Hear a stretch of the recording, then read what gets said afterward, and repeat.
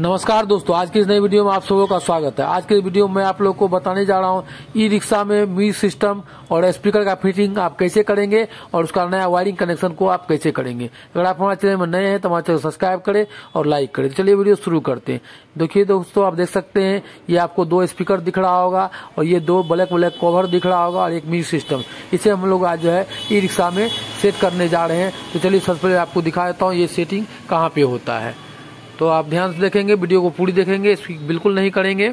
तो चलिए मैं आपको दिखाता हूँ। ये देखिए, आप देख सकते हैं, ये कॉलम आप देख रहे होंगे, इसमें आपको स्पीकर लगता है, एक स्पीकर इस साइड लगता है और एक स्पीकर आपको उस साइड लगता है और बीच में ये देख सकते हैं, ये म्यूज़िक सिस्टम लगता है। तो चलिए, पहले म्यूज़िक सिस्टम को हम उसमें डाल देते हैं, उसका हम लोग स्क्रू से इसको टाइट करते हैं।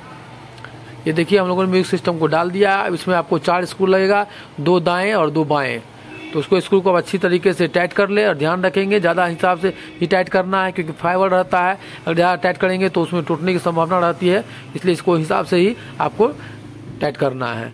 इसी तरीके से जिस तरह मैं लगा रहा हूँ, इसी तरीके से आप लोग को भी इसको म्यूज़िक सिस्टम को सेट कर लेना है। ये देख सकते हैं, दो मैंने उधर लगा दिया स्क्रू ये दो स्क्रू में हम लोग इधर भी लगा रहे हैं। तो देखिए, ये अब सेट हो चुका है।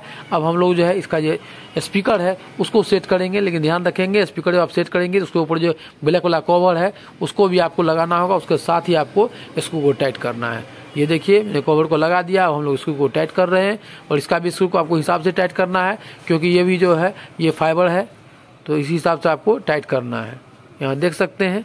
इसी तरीके से आपको इधर कर चुके हैं। तो चलिए अब हम लोग इस साइड भी सेम उसी तरह से स्पीकर पर डाल देना है। उसके बाद ये कवर जो है इस कवर को डाल करके उसमें स्क्रू दे करके हम लोग को टाइट कर देना है।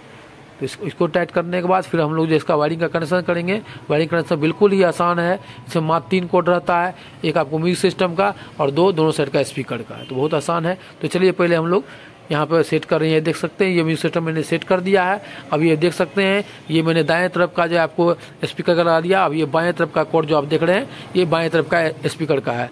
तो आपने देखा, तीन कोड था, एक मेन म्यूज़िक सिस्टम का, और दो स्पीकर का। तो इस तरीके से आपको इसको लगा देना है। बहुत ही आसान है। आप देख सकते हैं, यहाँ देखिए, दो स्पीकर एक म्यूज़िक सिस्टम है। चलिए मैं आपको आगे से दिखा देता हूँ। ये देखिए, आपका इधर फिटिंग हो चुका है। इसमें देखिए एक स्पीकर दो स्पीकर और बीच में म्यूज़िक सिस्टम का देखिए, आप देख सकते हैं, मैंने फिटिंग कर दिया है। अब मैं आपको इसको जो है ऑन करके भी दिखा दूँगा। इसके ऑफ़ ऑन का स्विच लगा रहता है। तो चलिए मैं इसको पहले ऑन करके देख लेते हैं एक बार। ये देखिए, आप, मैं आपको दिखा रहा हूँ, यहाँ पे एक बटन है। इसको आप ऑन करते हैं। यहाँ देखिए, देख सकते हैं। इसमें ये देखिए लाइन आ चुका है। इसका मतलब है कि हम लोग का वायरिंग बिल्कुल सही है और आप देख सकते हैं आराम से इसी तरह से आपको स्पीकर लगा लेना है म्यू सिस्टम लगाना है और कोड मात्र तीन ही रहता है और आप आसानी से इसका काम कर सकते हैं एक म्यू सिस्टम का और दो स्पीकर का। मैं उम्मीद करूँगा दोस्तों, ये वीडियो अच्छा लगा होगा आपको। नेक्स्ट वीडियो में फिर तब तक के लिए धन्यवाद।